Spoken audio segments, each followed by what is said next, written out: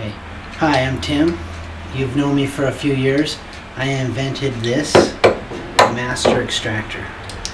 What most people don't understand is I invented it because I got tired of hurting my hands. It has feet for the bottom to catch the drain so you can put it in. That's the only reason those feet are there. The wings expand so it can catch the inside diameter. That's all basically it does. It's made out of total stainless steel. It's manufactured here in the United States, right here in California. It's ISO inspected and improved. And it's for taking out the basket in a tub drain. This is called a tub waste and overflow.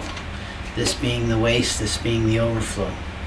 All you do is insert and just turn and it takes it in or out every time and it puts it back in. As you can see, this is a Gerber. This is an inch and three quarter. This is a Korean made. This is an inch and an eighth. And there's about 200 sizes in between. I also found it can be used on pipe nipples. All you need is a half inch socket. This is machine to fit a half inch socket.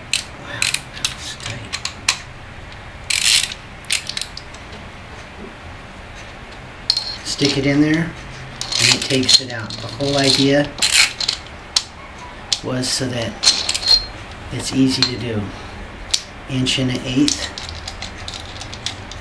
Again, solid.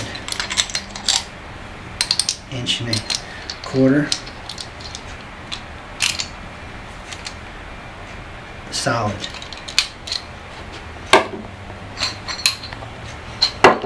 Sometimes you have a coupling on the pipe nipple.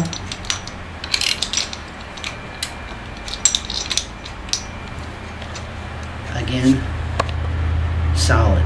All you have to do to operate this tool to get it started is put your fingers here and help it open up. Once it grabs, it, doesn't let go. It's been tested to 7,500 foot-pounds. That's a pretty big guy that can beat that up. The Master Extractor was invented here in the United States, patented, trademarked, and copyrighted. It's assembled by disabled vets and it brings jobs home to America. Thanks for your support.